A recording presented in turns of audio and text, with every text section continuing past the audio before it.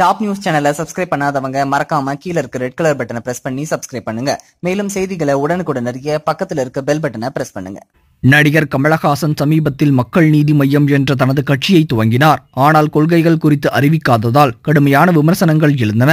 இந்நிலையில் வார இதழ் ஒன்றில் கட்டுரை எழுதி வரும் நடிகர் கமலஹாசன் அதில் தனது கட்சி குறித்து விளக்கம் அளித்துள்ளார் அதில் மக்கள் நலன் தமிழகத்தின் வளம் என்ற கொள்கையில் எத்தனை திட்டங்கள் வேண்டுமானாலும் கூடலாம். விவசாய மேம்பாடு கல்வி இளைஞர்களுக்கான வேலைவாய்ப்பு என்ற கொள்கையை நோக்கி ஏகப்பட்ட திட்டங்கள் கைவசம் இருக்கிறது. மருத்துவ மாணவர்கள் சேர்க்கையில் ஏற்கனவே இருந்த முறையால் மருத்துவத்தில் தமிழகம் உயரிய தரத்தை அடைந்திருப்பதால் நீட் தேர்வுக்கு ஆதரவளிக்க தேவையில்லை என்றும் பூரண மதுவிலக்கு கொண்டு வந்தால் மாஃபியா கும்பல் உருவாகும் எனவும் குடிப்பவர்கள் குடிப்பதை குறைக்க முடியுமே தவிர ஒட்டுமொத்தமாக நிறுத்த முடியுமா என்பது சந்தேகமே என்று தெரிவித்துள்ளார். மேலும் மறைந்த நடிகை ஸ்ரீதேவி தமக்கு தங்கை முறை என்றும் இனி சினிமாவில் மார்க்கெட் கெட்டு போகாது என்பதால் இந்த உண்மையை தாம் கூறுவதாகவும் அவர் தெரிவித்துள்ளார். இந்த தகவல் உங்களுக்கு பிடிச்சிருந்தா லைக் பண்ணுங்க கமெண்ட் பண்ணுங்க. மறக்காம கீழ இருக்க ரெட் கலர் சப்ஸ்கிரைப் பட்டனை பிரஸ் பண்ணி டாப் நியூஸ் சேனலுக்கு சப்ஸ்கிரைப் பண்ணுங்க. நன்றி வணக்கம். டாப்